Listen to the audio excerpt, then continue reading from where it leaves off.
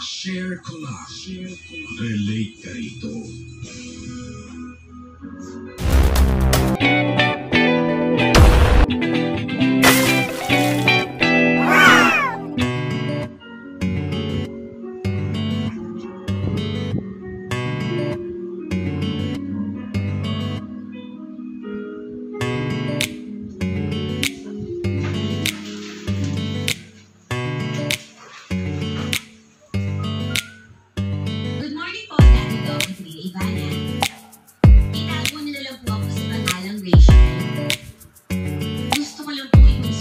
inyong programa.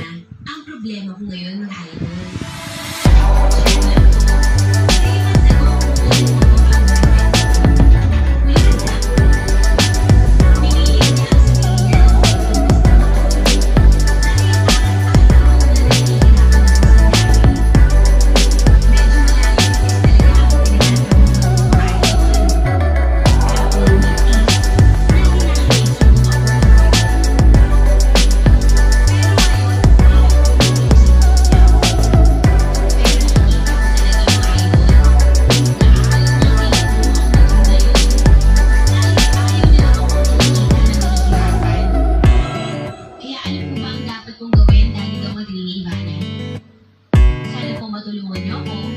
Para matulungan ko na rin ang boyfriend ko.